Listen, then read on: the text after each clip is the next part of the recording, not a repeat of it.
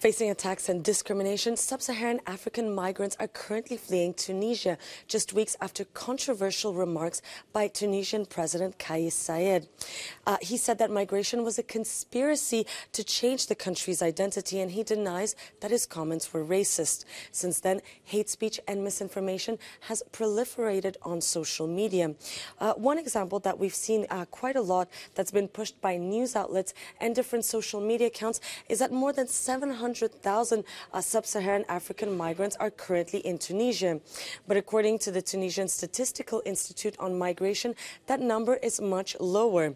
Out of approximately uh, 59,000 immigrants, about 21,000 are from sub-Saharan Africa. And after that, social media posts attacking migrants also spread to Moroccan and Egyptian social media pages and groups. Uh, social media users have started calling for the preservation of Moroccan and Egyptian Identities.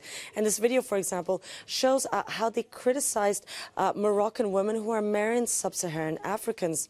And similar posts were seen in Egypt, echoing a fear that immigrants will change the country's democratic uh, profile. And this has pushed black citizens to slam the harassment and violence that they've experienced in the streets of Tunisia, uh, claiming that they've been mistaken for undocumented migrants and physically or verbally assaulted. This uh, pushed a social media media campaign with people posing with their Tunisian IDs along with the hashtag MyPapersOnMe just in case.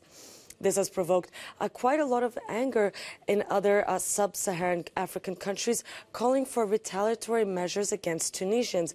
In this video, for example, uh, it claims to show a Tunisian citizen uh, that's being arrested and kicked out of Guinea. The text here says, bravo to the Guinean government, immediate repatriation of all Tunisians. But after doing a quick image reverse search, we found that this video actually dates back to April 2022. And the man arrested here is from Spain, not Tunisia, and he's being led away by police in Ivory Coast for trafficking drugs. So nothing to do with the current situation in Tunisia. Meanwhile, the World Bank has paused talks over its future engagement with the country, and the EU uh, has warned Tunisia against hate speech targeting people fleeing conflict and poverty.